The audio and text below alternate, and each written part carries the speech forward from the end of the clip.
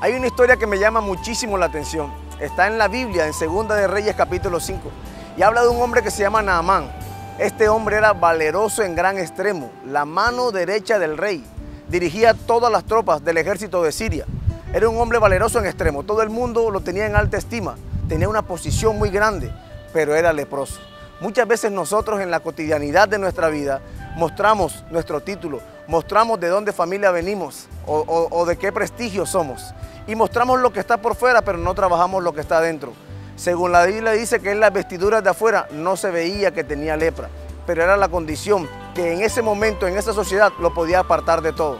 Así que no te concentres solamente en lo que está afuera, es mucho más importante lo que tenemos dentro, porque recuerda lo que la Biblia dice, no es lo que entra lo que daña al hombre, sino lo que sale de tu boca.